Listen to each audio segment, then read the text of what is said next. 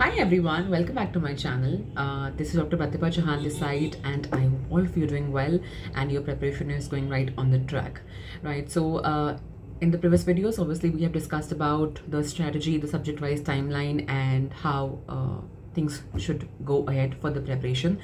Now, uh, I'll be discussing about some very important uh, tips, tricks, skills, you can call it anyway right? Uh, but these will be the most important and the crucial pointers which the NEET PG aspirant should take into consideration and should keep in mind while they are going in their preparation ahead right? So the first and the foremost confusion about or you know difficulty in uh, preparation is that we are not getting our mcqs correct. My number of score my number of correct in the gt is not increasing. Where i'm lagging what is my problem?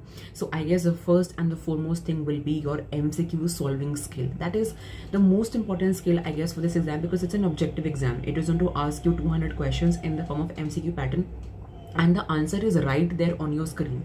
You just have to be smart enough to assess what is right right? So now uh, my technique of this mcq obviously in the initial uh, initial phase of preparation you will be uh, not able to figure out that what is the right way to solve the MCQ but as and when you are going to attempt your GTs and you will go ahead you will be able to figure out what is the right methodology. Now according to me I feel the 200 questions in the exam they should be divided in three set of questions. Like you'll start from the question number one and you'll keep on jumping to question to question and you'll figure out that there'll be three sets of questions. One set we will be very clearly aware of that particular question. You even know what they're asking what is the diagnosis treatment investigation whatever. You know the answer and you'll mark it this is one set of question second set of question will be I know the topic. I have read this particular thing in my notes, but I'm not sure what they're asking and whether or not I'll be able to come to a diagnosis to this particular thing. Okay, this is the second set of question. Third is something very new like for example in NEET 23 there were three to four questions which was very new to me and I was not aware of those questions. So there is nothing to panic because if they're new they're new for everybody. They're not not new only for you right?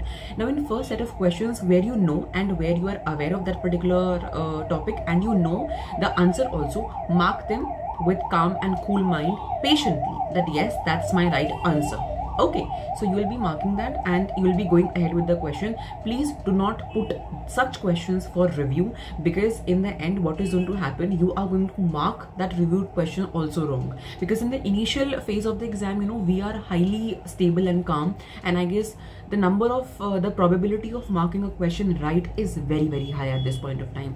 Later when you get exhausted you know you might change your mind or you will be going through a lot of questions which might change your answer. So i don't think it's a very wise idea of keeping a lot of questions for review. I guess for the questions you are sure about and you know the answer for that thing do not mark that for review. And you can go ahead uh, with that question you know after being very very sure. This is first set of question. The second set of questions as i've told that will be that you are aware of the topic but you do not know what is going to be the answer of this question right? So here the technique of ruling out will work. Ruling out means out of those four questions two of the options will be you know a little strange and they'll be out of the box so you can completely remove them. The remaining two options you have to take a smart call after judging the entire scenario of the question after coming to a particular diagnosis and then taking a call okay this question is asking me this thing and i think this option is highly probable it will be the answer right. This is ruling out because any which way we are not sure that these two options may say which is exactly right. But we are sure that yes if i'm ruling out on a certain basis then then this option which i'm marking will be absolutely right. Or if not there are probability there are chances that 90 to 95 percent this question will be marked right. Right third set as i've told will be something which is very new. Now the questions which are new i guess in first reading though i will really and really advise you to just skip these questions for a while. Do not waste your mind and energy in thinking naya question aa gaya now what? It's okay. You know sometimes the examiner has to put some questions to you know trick the student or maybe you know trick the aspirant or make them a little confused. So it's okay. In the first set you will be doing the questions which you are completely sure of. In the second set you will be doing ruling out method. And in the third set you will come to these new questions where a calculated guess will work okay here uh, tukka so i don't think we will have the courage to do because uh, negative hota hai but even if you have to mm, uh, guess the answer i guess it has to be calculated enough and smart intelligent enough after you analyze the background of the question and you feel like okay fine you know this this might be the answer for this question. Let's just take a guess like four to five new, new questions which were there in NEET 23 i didn't give a shot for around like two two to three of them. But two of them i was like okay fine let's make a guess and let's go ahead with that. Right? So this is how your uh, mind should work at that point of time. You should not be panicking at that point of time that okay fine know if there's a new question four questions if they're new in front of me my rank is you know now not going to come. No no no it's not that like that like that like that. Okay now second thing is that uh, concising the notes right? A lot of students they keep on asking you know that how is it possible for us to concise 19 subjects vast syllabus in few pages or in uh, a content or in a notebook which is easily revisable 7 to 10 days before the exam or a week before the exam? It is very much possible. You should know the right strategy. You should know the tricks of how you have to actually go ahead with that. Now in the first reading I will advise all of you to just go with this particular thing, uh, reading of the notes from head to toe. Don't do anything. Nothing extra is supposed to be done at this point of time. You just have to go and read your notes. Um, clear your concepts read your notes actively and have a very very strong base of the notes okay where you have a very good memory okay fine this portion is in my notes at this place now, in your subsequent revisions, you will start doing these two things. You will start making your 20th notebook, the idea of which and the format of which and how you have to go ahead with it. I have released in my previous video also. You will make start making your 20th notebook one and you will start making your sticky notes sub uh, topic wise like for example uh, if i'm reading eclampsia okay so i know these are the diagnostic keywords for severe eclampsia, for preeclampsia, for impending, for gestational hypertension, uh, for chronic hypertension. So I need to know these three, four keywords in each one of them to be able to come to a diagnosis because only if you will be able to come to a diagnosis, you will go to the next step. Now, if you are not able to make a diagnosis, I don't think there is any use of attempting that question also because फिर आप confuse हो कि what next so you need to write those keywords and you will be revising those keywords in your subsequent revisions to just make a memory of those keywords because any which ways nobody is going to ask you entire eclampsia from head to toe. They will give you a scenario, they'll give you certain keywords, you have to come to a diagnosis either or they'll ask you next step, right? So that is that should happen from your first revision and from your second revision as I've told you earlier also you can start your last minute revision topics from your first revision also but you can uh, I mean any which ways. That's your call. First revision or second division. Complete your 20th notebook in your second division and start making your last minute revision topics list which is going to really help you in the end. Again I've told about this last minute revision topics list also in my previous videos. So uh, that is really going to help you as well. And third thing will be at this point of time you will be able to figure out that these are certain there are certain overlapping topics in the subjects. And you are going to mark those topics in those particular subjects. Now for example toxicology that means poisoning is there in forensic medicine also and it's there in the med uh, medicine as well. So from forensic medicine point of view do it from fmt right? But the remaining part of pathophysiology clinical features symptoms management everything do it only and only from medicine. Do not waste that time in doing it in forensic medicine. Secondly for example pediatrics and medicine. Now uh, apart from neonatology and growth and development in pediatrics rest of it is completely uh, overlapping with medicine. Like you know it's pediatric is mini medicine. So if at all you do neonatology and growth and development religiously from pediatrics but remaining topics from medicine and while you are doing medicine? You can just have a look on you know pediatric point of view if there is any change in the protocol or in the treatment and you can make that addition there only in your medicine notes. So uh, this is going to help you in revising medicine and pediatrics together at a single place and you will not be wasting your time I've seen and even I did it uh, myself in my last uh, attempt like i did this mistake. I did every single topic from every subject. So it was you know taking a lot of time for me and i was like okay i have done toxicology poisoning from forensic medicine. I'll be doing it from medicine also. I have done pediatrics from this particular place i mean from pediatrics and i'll be doing it in medicine as well. So that wastes a lot of your time. So if you know in the very beginning in your first or second division that these are my overlapping topics and i am supposed to do it from one single subject only that is going to save a lot of your time right?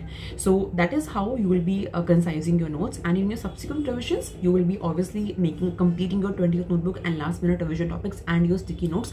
So these three to four things your 20th notebook your last minute revision topics your sticky notes will come to your rescue while you are revising your entire notes. So suppose if you're picking up anatomy you will not be jumping onto the entire anatomy from head to toe. You'll be reading your 20th notebook you'll be revising your last minute revision topics you'll be going through your sticky notes you'll be revising your previous year's questions and if at all you have your dvt or btr sessions you have a resource to tell you what are the important topics you will only revise those from your notes not the entire notes. Okay third thing uh, will be the encoding technique of learning. Now what is this exactly? Now while we are learning you know we feel that there are a lot of relatable words. Like for example in biochemistry in glycogen storage disease when you talk about uh, Andersen's disease and Cori's. now Andersen's may there is a deficiency of branching enzyme and Cori's may there is a deficiency of debranching enzyme. So a with b c with d in fact it's a mnemonic also. But this is how you will relate certain things. Sometimes the main disease the name of the disease suppose starts with m and its clinical feature and its diagnostic feature and its initial stage uh, initial investigation of choice its initial treatment of choice. Everything is starting you know with the alphabet m. So that is how you can you know remember and recall that is how you can feed it in your memory that i edit somewhere. I'm not able to recall it exactly because sometimes in the options you know uh, that particular disease is going to come and the option will have only one of them which starts with a particular alphabet or maybe you know with that particular alphabet. So it's very easy for us to understand this thing while we are solving this mcq this is very variable and very personal from individual to individual. So there is no pressure that you have to actually you know figure out ways and figure out words like this to go ahead. I feel it uh, just you know um, make it a little easier while we are revising our notes and while we are uh, uh, uh, solving the mcqs right then fourth most important thing will be that revision recall memory of notes because that is what is going to help you in cracking the mcq at the end of the day. Not reading the entire notes from head to toe will help you. What part of the notes you are able to recall remember in the exam while you are solving the mcq is going to make a change. Not every uh, person who is getting a rank has read or remembered or you know learned their notes from head to toe. It's that they have learned the most important part of the notes and they have figured out ways to remember that part of the notes while they are solving the mcqs so memory of the notes according to me is something like you know that i am uh, aware okay fine if this question is front of me on the screen then this topic was uh, on this page in my notes right side pe left side pe it was under this particular topic so i'll get a hint okay fine you know it is asking me about ms mitral stenosis so i'll be you know uh, thinking on that particular line. I'll go ahead uh, and utilize my question or utilize my thought process in that particular thing right? So i guess you need to have that memory of your notes and it is going to only and only come with repeat number of revisions. I always and always emphasize the fact of number of revisions because it is very very important.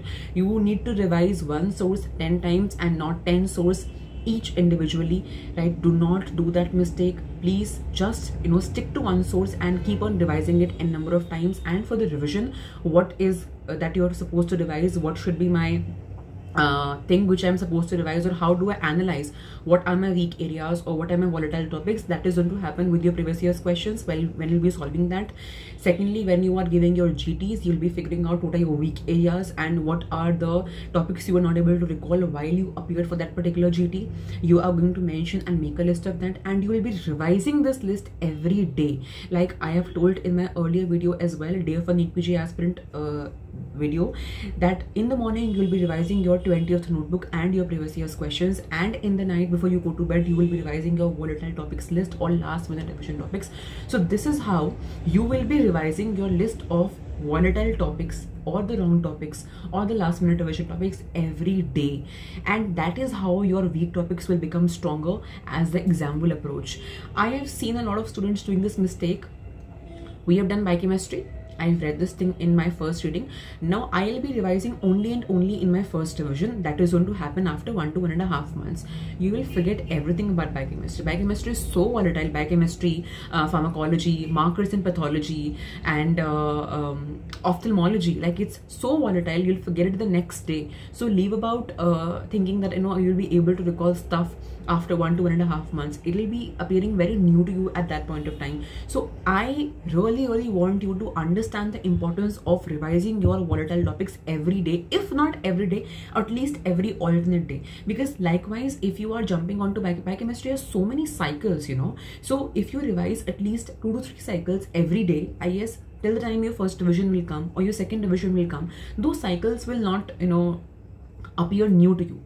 You'll be very much acquainted with them right? So that's the importance of revision and that's the importance of revision in a way that you will be able to recall and remember this particular thing in the exam. Trust me when i say that if you start revising your topics every day your weak topics your volatile topics every day you will be so confident in your preparation towards the end because at the end of the day the stuff which we are aware of and which we know is not going to give you palpitations nervousness is चीज की होती है कि I am not able to remember the volatile topics now what to do and if you are already revising these volatile topics every day I guess you are already at an advantage okay then the final thing will be that is the is solving the entire question bank a right decision at this point of time? I am saying no. Solving the entire question bank will not do any justice to your preparation will not uh, give you any extra advantage or will not help you in getting few extra marks will not help at all. My belief is solve your previous year's questions as many number of times as you can secondly if at all you want to go for the question bank go for solving the custom modules with the tags of previous year's questions clinical questions image based questions one liners that is how you will be solving the most important part of the question bank in the form of custom modules. And in fact in the custom module you can even set your timer also. I'm solving 50 questions. I'll be solving it for around 25 to 30 minutes. I'll be you know setting this time in my head or maybe obviously a clock head in front of me and I'll be solving this. जब हम question bank solve करते हैं at that time we solve it very carelessly, right? गलत भी हो रहा है तो it's okay. So I don't think it is very much uh, going to boost your confidence. But custom modules it is going to tell you okay out of 50 you have solved these many wrong and now this is your percentage and you have to improve in the next custom module. So please do not fall in the trap or in the myth of solving the entire question bank and feeling okay if i have solved the entire question bank i am going to get a decent rank. No it is not that way. Uh, not everybody gets a good rank and the reason is because you know not everybody has a good strategy. Not everybody is able to follow the right strategy to uh, crack the exam because all of us are reading the same notes. All of us are solving the same question bank then. What is that? What makes a difference in uh, the rankers and in somebody who is not able to get the recent rank? That's the way that's the uh, trick that they know the strategy. They know how they have to actually go ahead with that. Okay?